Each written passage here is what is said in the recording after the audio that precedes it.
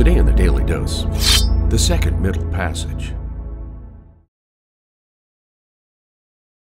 According to the Transatlantic Slave Trade Database,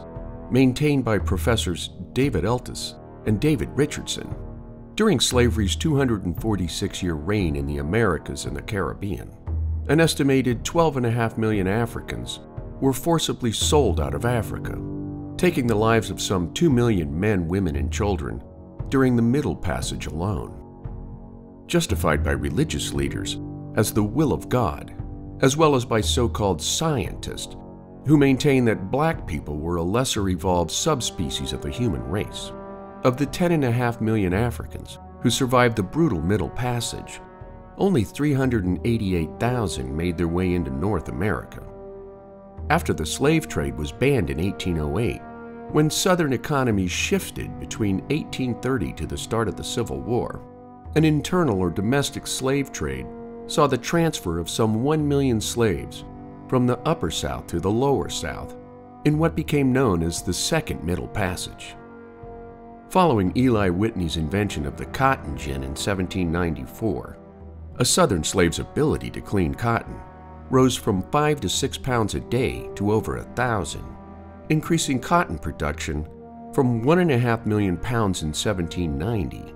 to 331 million pounds in 1830 and a staggering 2.3 million pounds by the eve of the Civil War. Cotton became king in the lower southern states, triggering a second forced migration of Native Americans out of the newly minted states of Alabama, Mississippi, and Louisiana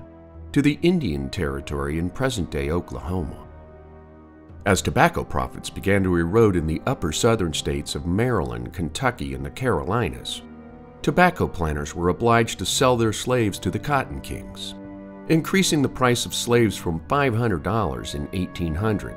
to $1,800 by the start of the Civil War, or an estimated $64,000 in today's currency. Of the 3.2 million slaves working in the 15 slave states in 1850, 56% worked in cotton. And of the 1 million sold from the upper South to the lower South, many slaves caught up in the Second Middle Passage were sold away from wives, husbands, and children, forced to travel hundreds of miles into the deep South while frequently shackled and whipped by inhumane slave traders, making the Second Middle Passage yet another worse hard time during the human injustice of slavery in America. And there you have it, the Second Middle Passage, today in the Daily Dose. Get your nerd on with the Daily Dose. And if you enjoyed today's episode, share the link with a friend or colleague so that they too can learn something new every day.